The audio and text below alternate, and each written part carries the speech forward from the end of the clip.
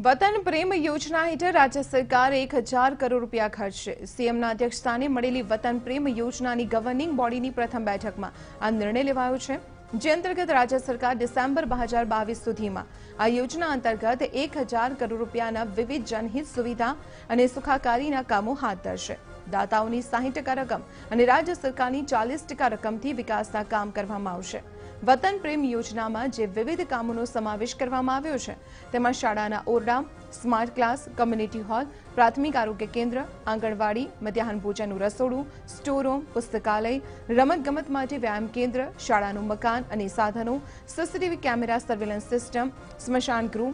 water recycling વ્યવસ્થા તથા ગટર